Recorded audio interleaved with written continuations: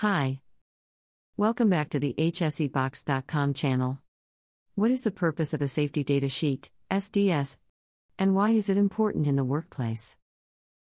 A safety data sheet, SDS, formerly known as a material safety data sheet, MSDS, serves the purpose of providing comprehensive information about hazardous chemicals in the workplace.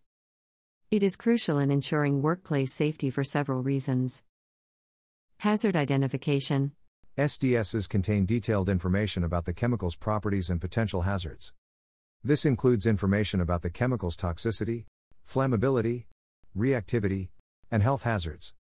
By knowing these hazards, employees can take appropriate precautions when working with or near the chemical.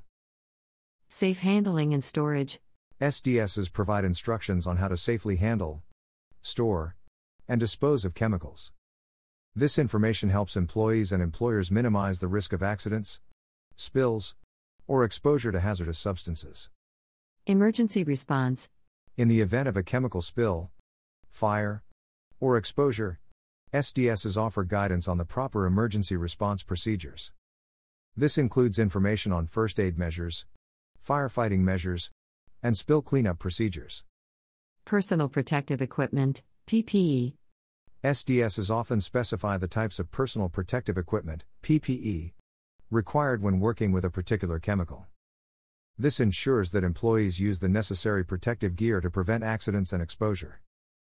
compliance, Many countries and regions have regulations that require employers to maintain SDSs for the hazardous chemicals present in their workplaces.